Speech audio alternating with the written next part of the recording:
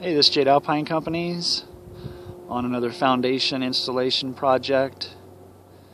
We've got about 600 yards of dirt that's got to get excavated and hauled out of here.